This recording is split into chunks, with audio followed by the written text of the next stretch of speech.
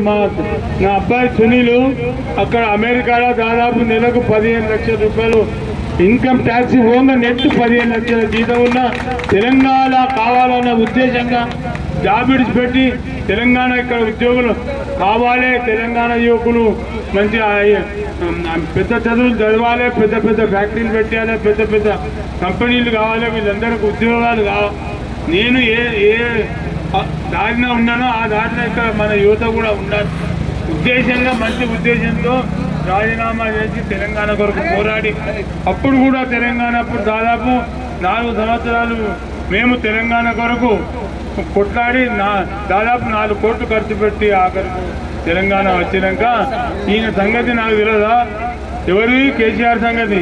కేసీఆర్ ఇప్పుడు నా వచ్చిండ్రు వచ్చిర్రు ఎంతో మన కార్యకర్తలు గరీబులు. అయ్యా సార్ మాకు ఫోటోలు ఇది అంటే మనం వాళ్ళకి ఇస్తే పుణ్యం తగ్గింది.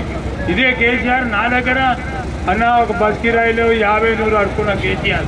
నన్ను అప్పుడప్పుడు మీరు యూట్యూబ్లలో ప్రకాష్ రావు చెప్తారు చూసినా ఈ కేసీఆర్ వచ్చి రామన్న నన్ను పైసలు అడుకునేది విన్నారు కదా యూట్యూబ్లో?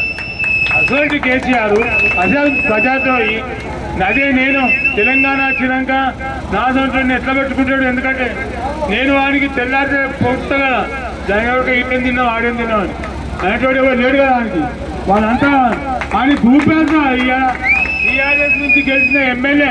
ఎవడు ఒరిజినల్ టీఆర్ఎస్ కొట్టారు అంత దొంగలే. టీఆర్ఎస్ తెలంగాణ దోచుకున్న దొంగలే.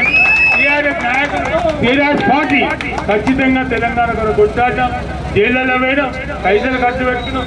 కార్యకర్తలు జైళ్ళలో పోతే ఒరిజినల్ తెలంగాణ స్టేట్ కింద ఉన్నాం. దొంగ తెలంగాణలో ఇలా మీరు ఇవాళ ఎక్కడి నుంచి హెలికాప్టర్ పోతాడా? ఇంతే కాదు ఫ్యామిలీ అటువంటిది గాలి మోటార్ కూడా నేను మన భారతదేశానికి. ఈయనకు ఎక్కడి నుంచి వచ్చింది హెలికాప్టర్. ఎక్కడి నుంచి సైకిల్ మోటార్